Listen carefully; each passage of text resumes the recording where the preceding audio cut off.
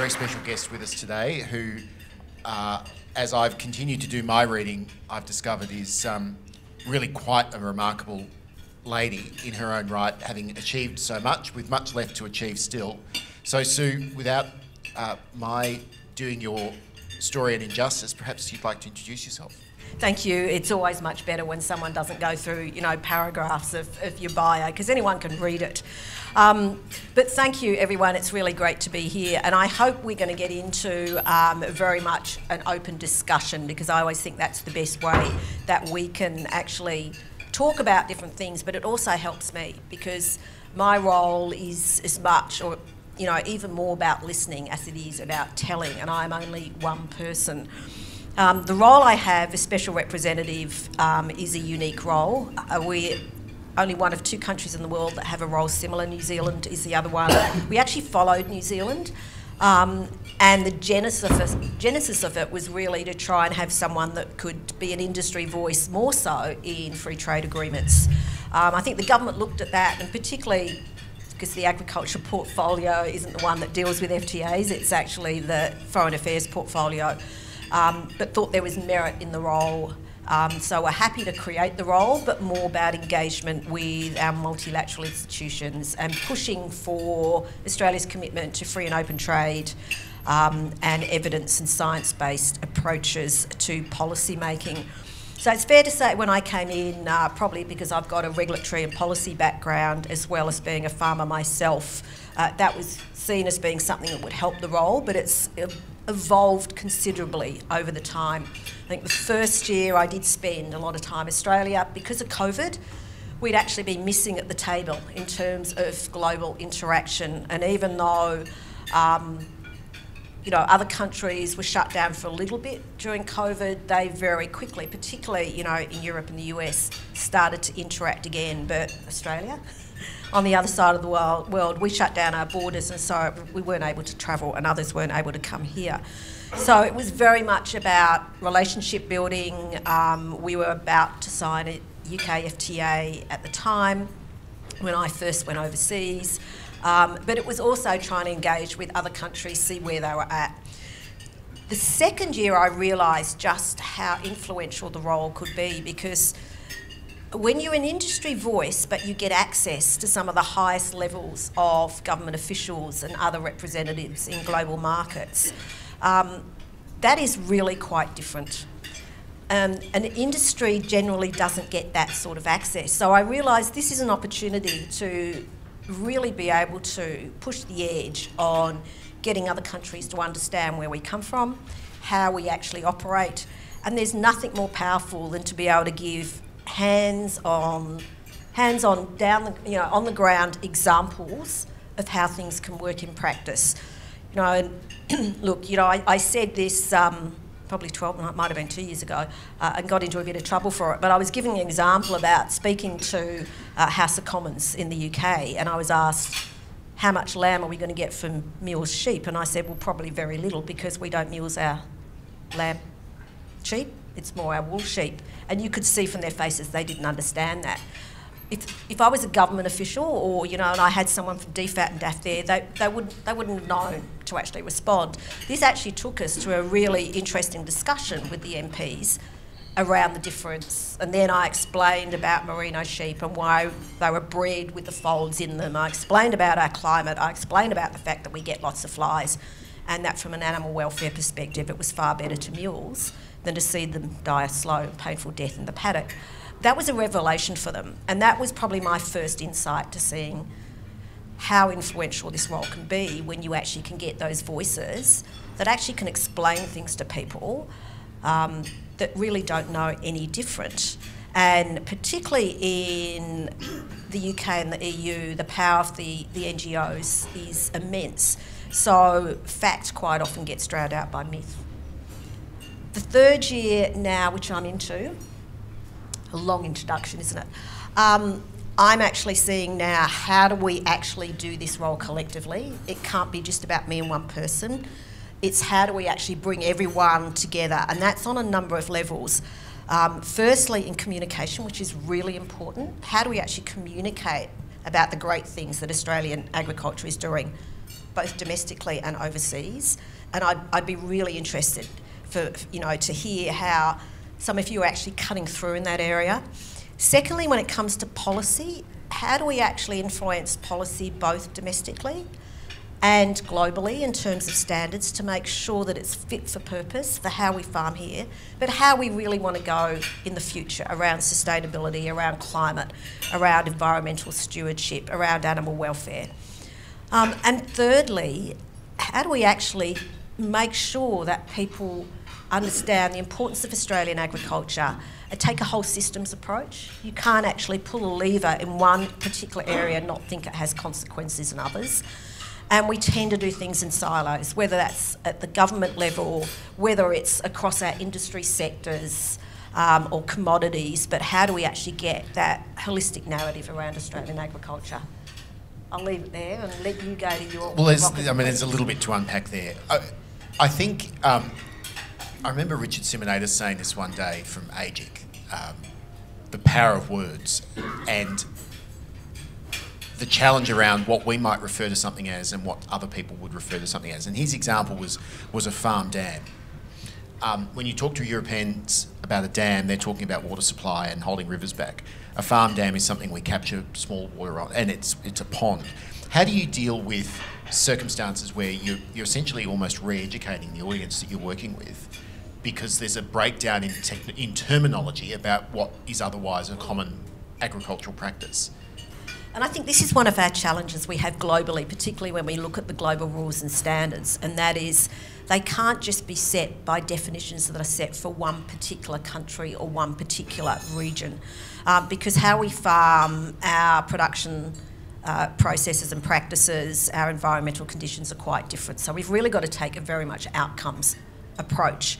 Um, and it's why, you know, and for those of you who've heard me speak uh, before, I do push hard back against the EU legislation, the Farm to Fork, the Green Deal, because it is quite prescriptive and it doesn't actually recognise that others actually farm quite differently. You know, I'm a beef farmer, we open graze in Europe, a lot of their, their livestock are kept in barns. Now, we would actually say it's far better for the animal to be open grazing. But because of the open grazing, it means we have to have different animal welfare practices. We use um, drenches and vaccines differently to what you might do if you actually have barn um, raised animals. So it really has to be a recognition of that.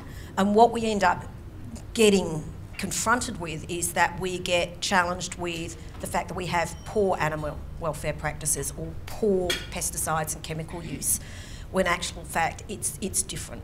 So we're not quite cutting through there in terms of the why. So the narrative is really important. But it's also important to think about, and look, I, I took this away from, from Beef Week, and it was, it was a narrative on the first day, and that was you've actually got to touch the hearts of people first, and then back it up with the heads. So I talked about my first year as being really focused on evidence and science based, and I think that's absolutely correct. You do have to have the facts that sit behind it. But maybe we go in too hard with the facts and figures to start with, and you've actually got to appeal to people's hearts and say. So that's a really interesting point. I mean, Australian agriculture has for a long time done passion very well, um, and we're seeing, particularly now with the live sheep debate, uh, where we have very passionate advocates for the continuing to practice the way they're practicing. But one of the key arguments that, that advocates for the live sheep trade have is that the science supports what they're doing. I was having this conversation with somebody last night, but um, we, we cherry pick science to suit our purposes. How do we do what the Environment Minister here in New South Wales likes to say? You know, we agree the facts. How do we get to a point where we can agree that there are some things that are totally non-controversial and we'll quibble about the things on the edges rather than finding ourselves stuck in this rut where we're arguing over essentially the same thing. Look, evidence-based policy is what we all want to see and robust policy making. Uh, robust policy making is about making sure, and look, in the end, it will be the decision makers, so the elected people, who will make that final decision. But they're provided with all the facts and the evidence and the cost benefit analysis to make that decision. Um, I've worked a lot in regulatory reform. There are best practice regulatory guidelines. They're not always adhered to. whether that's at the state or the federal level.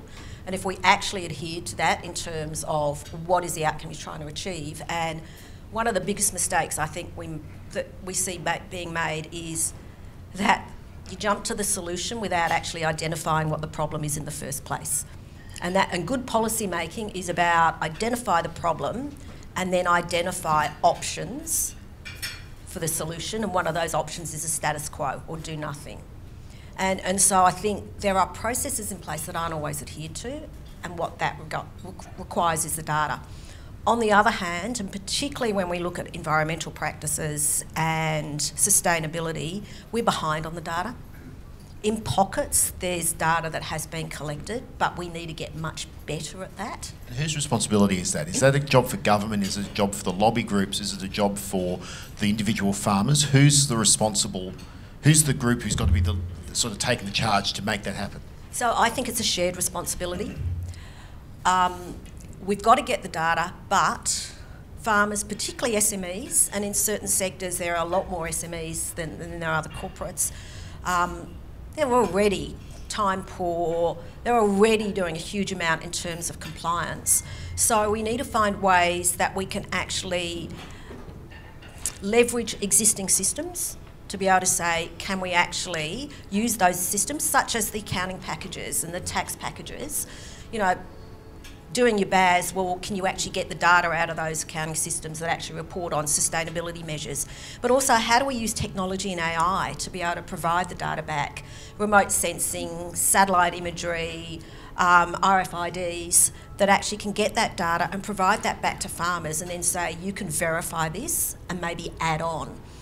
At the corporate level, because we have legislation that was supposed to come in on 1 July, the climate related financial disclosures, that's now been it is likely to be delayed 12 months. But the corporate end is really getting their act together around data and reporting and measurement. They and their clients are actually working on this, so they're actually paying for people in their supply chain to get this information, and we've just got to get that more widespread. And I think what I've seen, which has been for me very reassuring, is when I was having the conversation with some of the agribusiness corporates 12 to 18 months ago, when it came to me talking about their tools and calculators and their data, it was all keep it to themselves because it was corporate, you know, confidence. This is our client information. Now I'm seeing the much more willingness to say, well, actually, we're all on the same page here. Let's share what we're doing. Let's come up with common calculators and common tools. I think the other big thing that if we actually can use AI and tech to provide the data back is you get around this privacy issue where farmers actually gather the data themselves, then they're concerned about who they provide it to. If it's actually data that is readily available, then you won't necessarily have that issue. So I want to um, just flex the conversation a little bit. Um, you were in the paper last week talking about whether we, whether people understand how we're perceived internationally. So would you take a moment to hold a mirror up to Australian agriculture and tell us what it is our competitors, uh, how our competitors are telling our story, and what are the competitive advantages and disadvantages? Mm. Look, that's really challenging because if I was to hold a mirror up, as a farmer myself, I know what my practices are. I, look, they've changed, and I've been I've been on my farm for 32 years. They've changed over the time, but it's always about continuous improvement, improving your animal welfare, improving your pesticide use, improving your chemical use, looking at soil testing so you actually minimise that, and we are in Australia one of the very few farmers in the world that are not subsidised. So we don't have perverse incentives to try and use more chemicals or pesticides that they do in some countries. So it costs us. We're not going to use more of it than we absolutely need to because it just doesn't make sense. We've got to be thinking about profitability. We also know if we don't look after our land, it won't be there for the next generation. So, so there are a whole lot of incentives built into our free and open trade system that actually supports sustainability. What really, I look at, it makes me despair at times when I'm in certain countries, and particularly the EU, and I hadn't thought about it in the UK, but I've heard about this more recently, is they don't think that office. They don't think we're as clean and green as we like to think we are. And I don't know if some of the reasons are that we've been overtaken. Ireland is making a huge effort to really get clean green. The Origin Green is their brand. They've got a very cohesive R&D system, so one R&D body. They've got one branding body called Bord Bia, and that does the branding and marketing for all of Ireland. So they give very much a Team Ireland approach. We have a system that has been built on industry sectors and commodities. And I think diversity is great, but we've got to find a way that we can embrace diversity but still give a, a consistent message, particularly globally. Because we often hear this that we've got Brand Australia, yet we're all then very quickly to run off and say, but within Brand Australia, there is, you know, apples from Victoria are better than New South Wales or whatever the case might be. So, so are we? Uh, what you're saying? We're essentially our own worst enemy in our own in our own effort to try and diversify we're actually doing ourselves a disadvantage or causing ourselves a, dis, a disadvantage. And look, you know, I'd, I'd, be interested in feedback from the room here because, you know, all of you are experts in this area and I certainly not. But it, it is the messaging and looking at it through the lens of the consumer, the client, the customer. What are they hearing? Why are they not hearing that we are clean and green? Why are they not hearing that we have world leading best practice in animal welfare, you know, in in our technology, in our climate smart agriculture. Why are they not hearing that? Is it how we're packaging the messaging? Or do we need more of you? I mean, the government's spending $15 million in your in the initiative of global agricultural leadership. Um, is it that that to play on Team Australia, you've got to pay to play, and the government needs to be funding more, or do farmers have to put their hand in their pocket? I mean, somebody's at some point, someone's got to pay. So who does the responsibility fall upon? Look, this is something that I'm really putting into my narrative, and, and I thought about this last year. I spent the last six months of last year almost overseas exclusively, and then I've spent the last six months only in Australia because it's so important for me to hear from industry and engage with industry and learn what's happening on the ground. Um, and I'm, I keep saying now I'm recruiting because this can't be about one person. And if the government was to fund it, what are they going to do? Fund another five people? You know, no, we want the all the people that are out there doing great things now to actually be part of the conversation, the narrative that we need to put forward. So, as an example of that, I'm going to be in Europe. I'm heading over there at the end of next week. The NFF are actually coming on this trip. We're not doing everything together, but we're starting to actually look at how we can have more of us in country. I've reached out to Nuffield scholars and I've had a couple of them actually come back to me and say, well, actually, we're going to be in Europe. So I've said, well, let's look at what are the, the meetings you can come to um, so that we can share that. So I'm on a big recruitment drive because it's got to be all of us that actually work in the sector.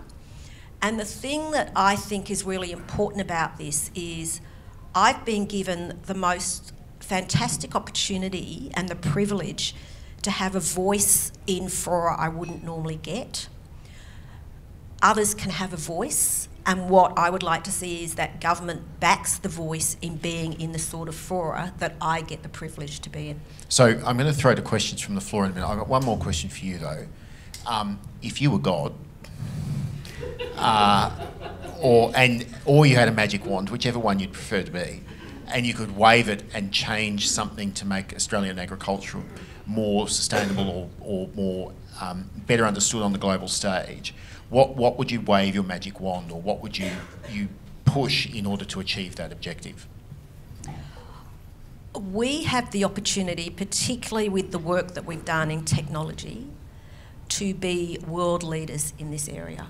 So to be recognised at that and as that and have others actually come to us. And what will then follow is that they will then see what we do on the ground. When you actually invite people from overseas, be that farmers or government people, and you bring them here and you take them out on farm, their view changes completely. So how do we, you know, get the show and tell and feel and smell to so many of them because they they only make judgments of what they read and hear.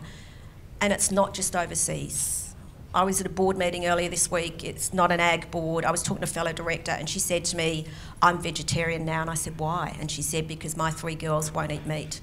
And I said, Why? And she said, Because they can't bear to, bear to eat anything that's been killed. And I said, Well, you're actually not providing the best example. I've known you for 20 years. You know how good Australian agriculture is.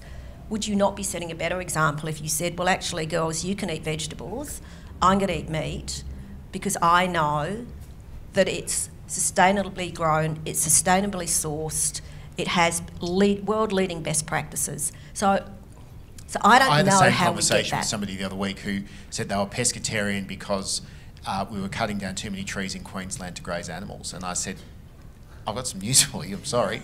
Uh, and this person worked in ag. And, and so you think to yourself, if, we're, if we are, if within the industry, we're not being our best advocates. I've got no choice. If anybody in here is a pescatarian, that's not a reflection on, on anybody.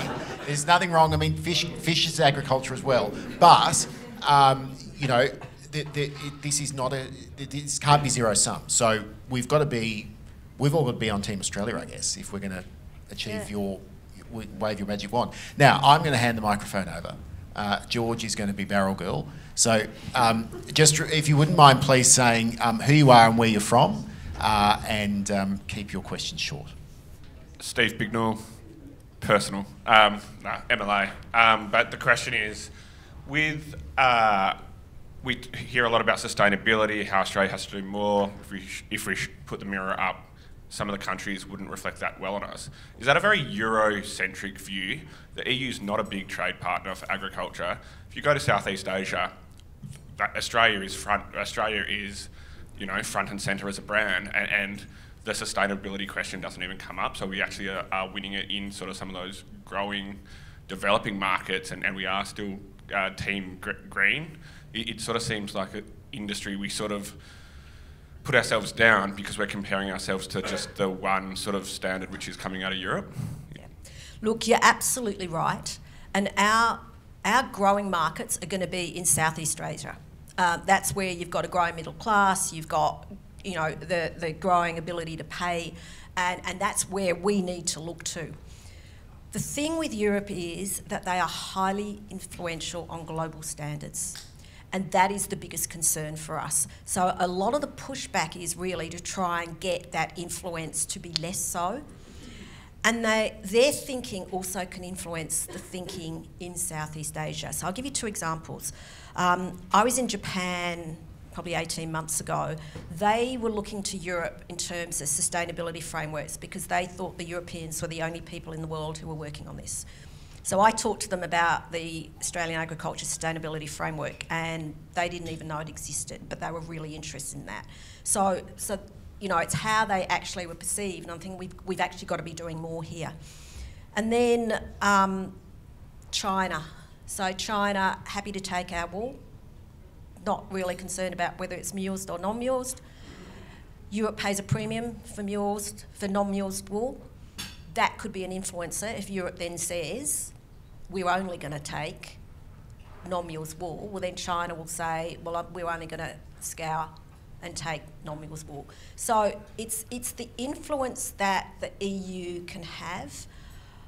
I would love to see how we can be more influential. I think we can't do it on our own. So um, some of the work I do with what we call like-minded countries, you know, and that's either through the Cairns Farm Leaders Group or through other global initiatives, um, is to work with the Latins, with Canada, um, and with some of the others to say, as a block, how can we actually start to push back against some of these because it's really hard to do it on our own. Pinch your microphone for a minute. How do you, uh, how, how do you successfully do that? I mean, the Europeans have spent centuries exporting their problems. Um, and and then making everybody sit back and do the things they want done. They want things done their way. Does there come a point where the, the suppliers of the raw materials or the, the foodstuffs that are going into Europe sit back and say, "We're not going to play your game anymore. If you want that, that's fine, but we it just simply can't be supplied. Therefore, you're on your own." Look, there are ways that we can try and do it. You don't always know if you're going to succeed. I'm, an, a, I'm a supreme optimist, so I always say, let's have a go.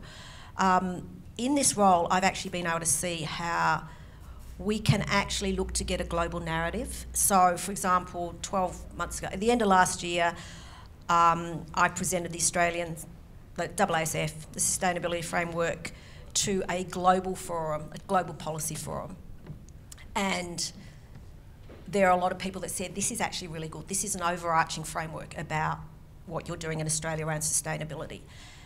And I was having a conversation, I'm going to Canada in July, and I was having a conversation with some of the Canadians last week in preparation for that, and they said, Our government has just put out a policy statement where they want us to develop a sustainability framework.